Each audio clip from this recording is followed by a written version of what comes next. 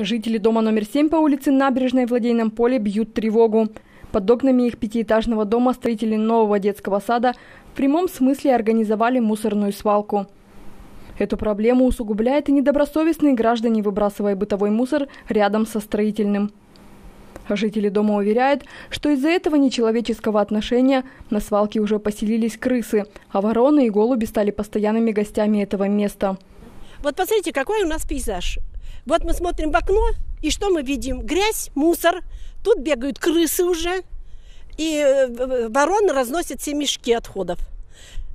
Вот и мне кажется, что уже пора бы вывести. Уже месяц больше здесь эта грязь. Подстроили подстанцию.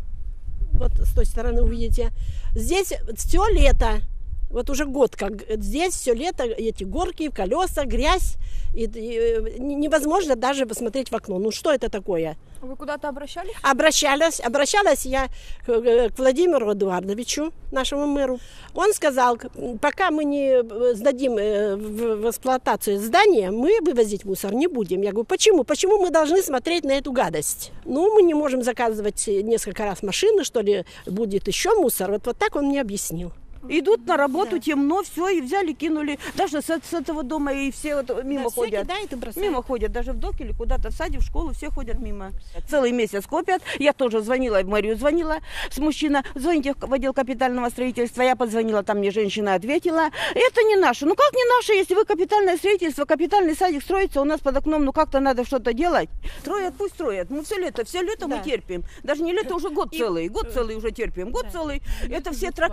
трак трактора, гул, били там да, что-то сейчас все. еще даже вечером стали, потому что да. они уже подгоняют. Да, и вечером. И уже вечером допоздна все это. Это шум. все мы терпим. Но почему мы должны помойку терпеть еще вдобавок ко всему? И пока власти не обращают внимания на эту проблему, жильцам этого дома приходится жить при закрытых занавесками окнах. Ведь, честно говоря, вид во двор совершенно не радует глаз. Но больше всего владельцы квартир дома номер 7 по улице Набережной боятся, что после прихода в заморозков свалку не смогут убрать до весны.